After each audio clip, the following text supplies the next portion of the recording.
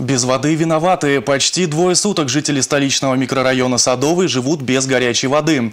Как оказалось, это не плановые отключения. В чем причины, выясняли мои коллеги.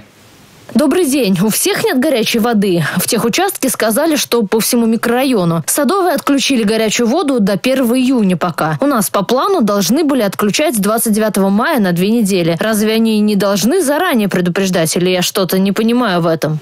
Сообщения об отключении горячей воды одними из первых появились в соцсетях вчера утром. Управляющая компания сообщила о том, что начался ремонт в котельных, и воды не будет до начала июня. Жители недоумевали, по плановому графику он должен был начаться не раньше конца мая. Чуть позже в соцсетях появилась такая информация, и она оказалась верной. Котельная, которая обслуживает СУОР, отключили из-за долгов перед «Газпром» Межрегионгаз Чебоксары. К делу подключилась прокуратура Ленинского района. Сегодня они внесли представление в адрес э, «Газпром» и «Регионгаза» о том, что необходимо возобновить поставку газа. Но наши коллеги-газовики могут с этой позицией не согласиться, пойти в суды, оспаривать эти представления там и так далее. То есть этот процесс может затянуться.